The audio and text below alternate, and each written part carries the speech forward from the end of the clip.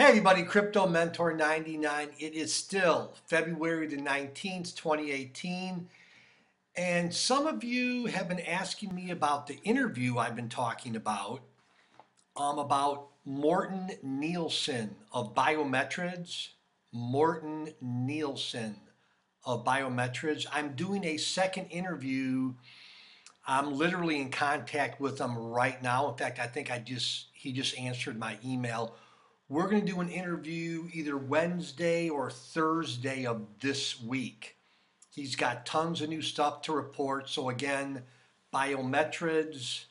I'll put the website link below. You may want to take a look at it. The second one um, is the Valorem Foundation. The Valorem Foundation, that's Val Clayman. Val Clayman. I'll put that link below. Um, they're in the middle or towards the end of their ICO. They're doing really good.